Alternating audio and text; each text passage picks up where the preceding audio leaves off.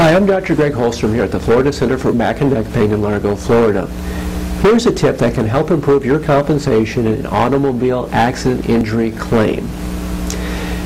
Make sure that you inform your doctor if you have lost time from work. This is important not only to make sure that you're compensated for your lost wages, but it's also important in documenting it for the compensation of permanent injury uh, when your case is settled or comes to its conclusion if you have permanent impairment or permanent injury. I'm Dr. Greg Hollstrom here at the Florida Center for Back and Neck Pain in